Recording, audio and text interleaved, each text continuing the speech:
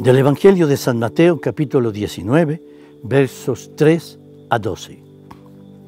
En aquel tiempo se acercaron a Jesús unos fariseos y le preguntaron para ponerlo a prueba, ¿es lícito a uno despedir a su mujer por cualquier motivo? Él le respondió, ¿no han leído que el Creador en el principio los creó hombre y mujer y dijo, por eso abandonará el hombre a su padre y a su madre y se unirá a su mujer y serán los dos una sola carne?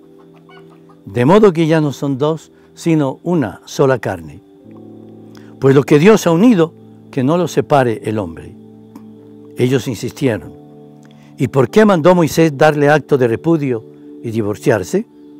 Él les contestó, por lo tercos que son, les permitió Moisés divorciarse de sus mujeres. Pero al principio no era así. Ahora les digo yo que si uno se divorcia de su mujer, no hablo de impureza, y se casa con otra, comete adulterio. Los discípulos le replicaron, si esa es la situación del hombre con la mujer, no trae en cuenta casarse. Pero él les dijo, no todos pueden con eso, solo los que han recibido ese don. Hay eunucos que salieron así del vientre de su madre. Otros los hicieron los hombres y hay quienes se hacen eunucos por el reino de los cielos. El que puede con esto, que lo haga. Palabra del Señor. Gloria a ti, Señor Jesús. La vida matrimonial, en verdad, no es simplemente ni un placer, ni un juego, ni una necesidad, es una vocación.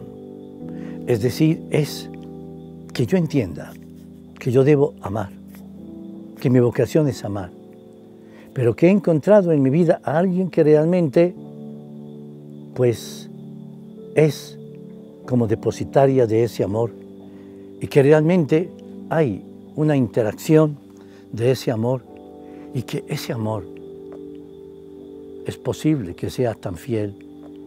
Es posible que entonces, aunque muchas tentaciones aparezcan, trataremos de estar fieles, trataremos de no fallar, de estar siempre en esta plena dedicación.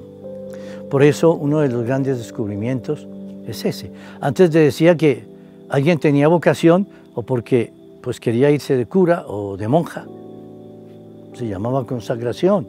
Pero es que el matrimonio también es vocación, porque es consagrar la vida al amor, al amor fecundo, al amor que no es de eunucos, es decir, que no es de personas que renuncian a los hijos, sino que es de personas que quieren construir el hogar, que quieren tener una familia, y quieren llegar así a adornar la vida, el mundo, con la alegría y la sonrisa del amor y la mirada de los niños y la alegría de la vida que cada día renace y se hace hermosa y adorna la existencia.